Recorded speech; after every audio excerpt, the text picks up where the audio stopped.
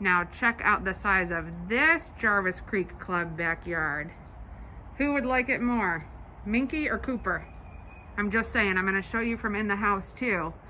But boy, that's a backyard. And then this was cool, like the natural fencing. Not fencing, but you guys know what I mean. And then it'll be, be growing up over here on this side too. Had to show you first.